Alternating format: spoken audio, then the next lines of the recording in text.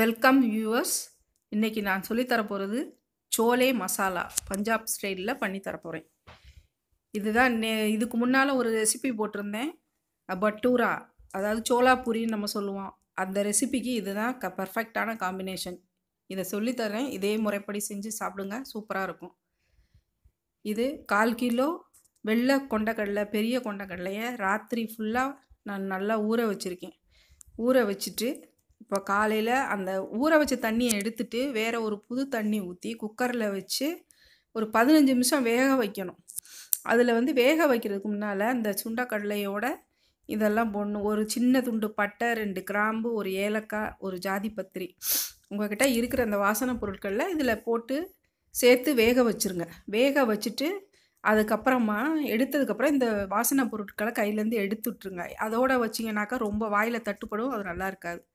கிரேவிக்கு தக்காளி அரைச்சி வச்சுருக்கேன். ஒரு நாலு தக்காளி பெரிய தக்காளி.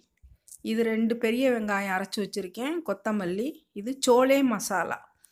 இது ம- ம- மிளகாத்தூள் மஞ்சத்தூள் உப்பு எண்ணெய் வந்து தாளிக்கிறதுக்கு. இஞ்சி பூண்டு பேஸ்ட்டும் வச்சுருக்கேன்.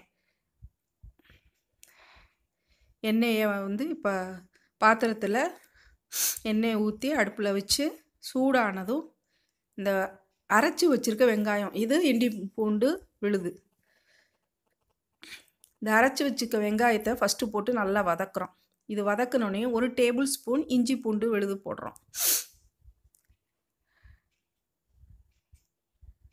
இது ரெண்டும் நல்லா வதங்கி வந்ததுக்கப்புறமும் நம்ம தக்காளி போட்டு வதக்குவோம்.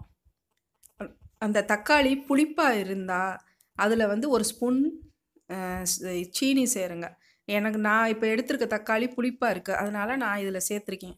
சப்போஸ் அது அந்த பெங்களூர் தக்காளி மாதிரி இருந்ததுன்னா அது இனிப்பாகவே இருக்கும். அதுக்கு போட வேண்டாம்.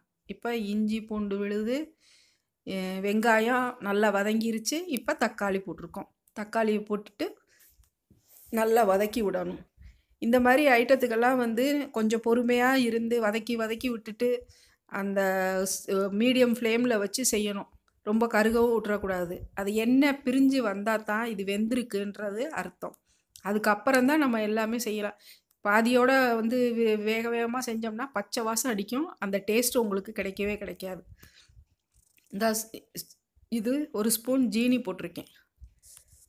இந்த தக்காளி புளிப்பை குறைக்கிறதுக்காக. உங்கள் தக்காளி இனிப்பாக இருந்தால் தேவையில்லை. இப்போ இந்த தக்காளி வதங்கிருச்சு. அந்த எண்ணெய் பிரிஞ்சு வருது. இப்போ மஞ்சத்தூள் மிளகாய்த்தூள் போட்டு நல்லா வதக்கி விடுறோம். வதக்கி விட்டுட்டு இது சோலே மசாலா. இது கடைகளில் கிடைக்கும். அது சோலே மசாலான்னு பார்த்து வாங்குங்க. அந்த சென்னா மசாலான்னு இருக்கும். அது இதுக்கு சரிப்பட்டு வராது. அது வந்து வேறு மாதிரி டேஸ்ட் கொடுக்கும். இந்த சோலே மசாலான்னு எழுதியிருக்கும். அது வாங்கி நீங்கள் அது மாத்திரம் தான் சேர்க்கணும். மிளகாத்தூள் மஞ்சத்தூள் இந்த மசாலா பொடி போட்டிங்கனாலே போதும். இந்த மசாலா பொடி ஒரு ரெண்டு ஸ்பூன் போட்டுருங்க. மற்றது உரப்புக்கு கொஞ்சமாக மிளகாத்தூள் சேர்த்துக்குங்க. இப்போ நல்லா மூடி வச்சு வதக்கி எடுத்திருக்கேன். இப்போ பாருங்கள் எண்ணெயெல்லாம் பிரிஞ்சு சட்டியில் ஒட்டாமல் அல்வா பதத்துக்கு வந்துடும் இந்த மசாலா. உங்கள் பார்க்கவே தெரியுது. சுருண்டு வந்துடும் இது நல்லா எல்லா மசாலாவும் நல்லா வெந்துருச்சு. வெந்ததுக்கு அப்புறமா அந்த சுண்டக்கடலையை சேர்த்து வேக வச்ச சுண்டக்கடலையை நல்லா சேர்த்து வெள்ளை கொண்டக்கடலை வச்சுருக்கோம். அதை சேர்த்து தேவையான அளவு உப்பு போட்டுட்டு உங்களுக்கு எவ்வளவு கிரேவி வேணுமோ அவ்வளவு ரொம்ப தண்ணியெல்லாம் விட்டுறாதீங்க இது நல்லா இருக்காது. ஓரளவுக்கு கிரேவியாக அது வச்சு வச்சுருங்க. ஆனால் இந்த சுண்டக்கல்ல வந்து வேகும் வே- இந்த இதெல்லாம் சேர்ந்து கலந்து வெந்தோடனே கொஞ்சம் நேரம் ஆனோடனே கொஞ்சம் இறுகிக்கும். அதனால் ஓரளவுக்கு கொஞ்சம் தண்ணி விட்டு வைங்க. இந்த லேசாக ஒன்று ரெண்டாக மசிச்சு விட்டுக்குங்க. அது வந்து அந்த கிரேவியோடு சேரும்போது இன்னும் கொஞ்சம் டேஸ்ட்டாக இருக்கும். அதனால் எல்லாத்தையும் மசிக்க வேண்டாம். லேசாக கரண்டியை வச்சு ஒன்று ரெண்டு அப்படி அமுத்தி விட்டிங்கனாக்கா அது போதும். பட் நான் தேவையான அளவு உப்பு போட்டுட்டு நான் கிரேவி எனக்கு எவ்வளோ தேவையோ அவ்வளோ தண்ணி ஊற்றி மூடி ஒரு அஞ்சு நிமிஷம் வந்து மீடியத்தில் கொஞ்சம் பாயில் ஆக விடுங்க. நல்லா கொதிச்சதுக்கு அப்புறமா அதில் கொத்தமல்லி தூவி நீங்கள் ஸ்டவ்வை ஆஃப் பண்ணிடுங்க இப்போ இந்த அளவுக்கு தான் தண்ணி விட்டுருக்கேன் நான். ஜாஸ்தி உள்ள. ம். இந்த அஞ்சு நிமிஷம் கழித்து நம்ம கிரேவி ரெடி ஆயிடுச்சு இதில் கொத்தமல்லி தூவி நான் ஆஃப் பண்ணிட்டேன்.